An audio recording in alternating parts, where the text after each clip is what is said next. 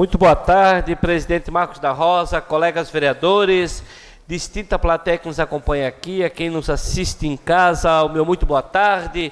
É, realmente hoje para Blumenau, é, Alba, Silvio, Matias, Gilson, Jovino, Ito, Adriano e presidente Marcos da Rosa, além de ser uma data, Jens também que se faz presente, além de ser uma data muito especial, hoje é, posso dizer, o meu amigo Mário Hildebrand, que iniciamos juntos na carreira política, assume é, como prefeito e também o nosso prefeito é, Napoleão Bernardes, é, com certeza vai representar Blumenau e o Vale do Itajaí no cenário nacional ou quem sabe estadual.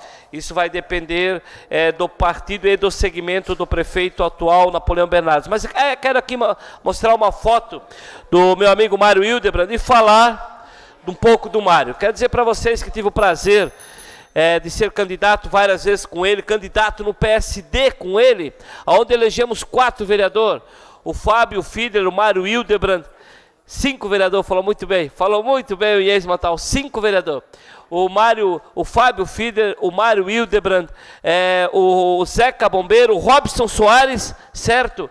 E tivemos também o Antônio João Venâncio de Souza e a Norma Dickman que assumiu no lugar, ainda são seis gente. E a Norma Dickman que assumiu ainda no lugar do Mário, que o Mário foi secretário da Assistência Social. Quero dizer que realmente é, venho acompanhando a carreira política dele desde é, de 2004, venho acompanhando, venho acompanhando a carreira do Mário Hildebrand no cenário político e com certeza sempre vem galgando e crescendo numa crescente muito boa para o município de Blumenau e para o Mário também. E com certeza Blumenau tem muito a ganhar nos dois sentidos, nos dois valores tanto o Napoleão seguindo ou o cenário federal ou o cenário estadual, quanto o Mário é, presidente, conhecendo a índole do Mário, sentando aqui do lado dele, como eu e Jens, tivemos o prazer de trabalhar com o Adriano também, o próprio Marcos da Rosa, tivemos o prazer de trabalhar aqui com o Mário vereador e o Mário presidente da Câmara de Vereadores. E agora o Mário como vice-prefeito e como prefeito a partir de hoje do município de Blumenau. Com certeza, Blumenau tem muito a ganhar, até porque esperamos que Blumenau possa crescer com essa tacada de mestre, com essa jogada de mestre, o Blumenau tende a ganhar.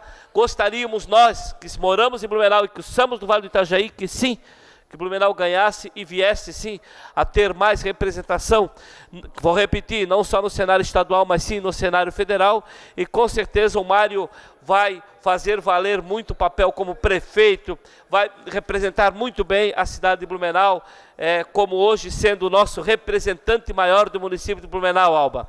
Até porque quando a gente é amigo na política, a gente tem que vir para a tribuna e dizer realmente as virtudes do amigo, né? Não adianta ter um amigo e chegar aqui quando meu amigo cresceu, subir eu não falar nada dele. Tem que chegar aqui e falar que concorri ao lado dele como vereador, éramos amigos, não tenho inimigo na política, tenho adversários políticos, inimigo eu não tenho, e quero dizer para você que o, que o Mário Ideobrando sempre foi uma pessoa muito brilhante, muito parceira no que diz respeito à política, às caminhadas políticas, sempre foi muito parceiro, muito digno e uma pessoa muito corajosa também de enfrentar várias batalhas e muitas batalhas. Ele sabe do que, que eu estou falando, ele tem ciência do que eu estou dizendo e com certeza vou repetir. A comunidade de Blumenau, Blumenau continua assim, com o prefeito no comando e com certeza o caminho continua sendo bem forte. Depois gostaria que o Ari soltasse imagens da reunião que eu fiz na Selma Becker Estive fazendo uma reunião com a comunidade na rua Selma Becker, se o Ari pudesse soltar imagens. É, estive lá reunido com a comunidade. É, essa não é a Selma Becker, essa é a Maranhão. Estive lá na rua Maranhão. Pode voltar, pode botar essa ali, pode deixar essa aí. Estive na rua Maranhão. É, o, o Biro também teve, o Biro Roncalho esteve lá comigo lá. E a rua Maranhão vai fazer agora pelo decreto, Ito. Eles vão fazer a rua particular. Vão fazer a rua particular direto com a empreiteira. O Biro esteve lá comigo, certo? Vão fazer direto com o empreiteiro. Não precisa entrar, certo? No programa da prefeitura do sistema mutirão. Até porque se eles têm o dinheiro para pagar à vista, também não vejo necessidade. Uma rua pequena de 100 metros, ô Jens uma rua de somente 100 metros, entrar no sistema mutirão se eles têm o dinheiro para fazer direto com a empreiteira. Então levei uma pessoa de qualidade lá, realmente uma pessoa que realmente é, é já é hoje credenciada pela prefeitura, já faz hoje pavimentação pela prefeitura, vocês sabem disso, e com certeza a comunidade tem a ganhar quando nós temos empreiteiras do tipo da empreiteira que é do nosso amigo Biro Roncalho, para quem conhece muito bem. E depois gostaria de falar do assunto automobilístico. Eu fiz uma pesquisa e pedi para fazer uma pesquisa no crescimento de 17% das vendas de veículos novos e mais veículos no município de Blumenau. Quer dizer, a mobilidade urbana, Alba, tende realmente Blumenau nos próximos, no, no próximo ano a ficar muito pior do que está. Foram vendidos 16 mil veículos a mais do que os outros anos, no último ano, no município de Blumenau. E fala-se em crise, hein? Fala-se em crise. E venderam 16 mil veículos a mais no município de Blumenau. Quer dizer, Blumenau tinha mais de 140 mil veículos. Nós tínhamos e vendemos mais de 16 mil em um ano somente. Quer dizer, a mobilidade urbana, as nossas ruas, não tem mais como realmente surtir é, efeito no município de Blumenau. Se nós não fizermos algo com urgência realmente, certo? Para que possamos nós é, fazer com que o, o trânsito escoa melhor. Com o maior prazer, Adriano. Vereador Adriano Pereira, em a parte.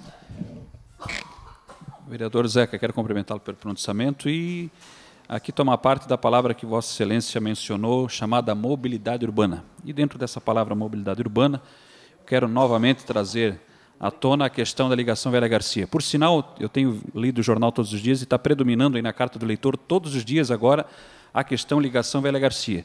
E aqui fazer a reivindicação realmente né, que seja feito um esforço, líder do governo, poder executivo, para que se resolva né, pelo menos a reabertura da rua Willy Henkels ligando a velha com, com Garcia. Pelo menos a desobstrução daquela rua e que seja liberado para carros pequenos, carros pequenos, vereador Zeca, aquela rua, enquanto não se faz o tal projeto, né, que é o projeto oficial, se capta os recursos, se vai ser túnel, o que, que vai ser, se vai ser entre a Armanruxa e João Pessoa, enfim, isso é uma outra questão.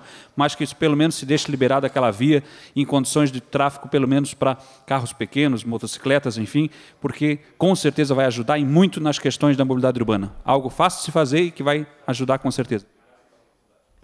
Muito obrigado pelo mais dois minutos para concluir. Mais presidente. dois minutos.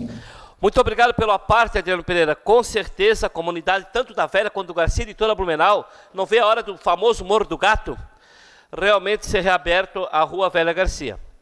Você falou muito bem. Não precisa investimento de milhões para abrir aquela rua. E aquela rua resolve o problema de muita gente.